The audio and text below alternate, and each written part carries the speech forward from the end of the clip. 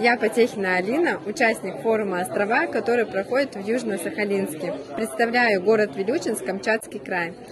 А, на форум приехала с проектом образовательный форум а, по социальному проектированию «Вулкан», а, который направлен для участников молодежи от 14 до 18 лет города Вилючинска для того, чтобы они могли проявлять свою инициативу, могли развивать свои идеи, реализовывать свои идеи и проекты в Вилючинском городском округе и в целом на Камчатке.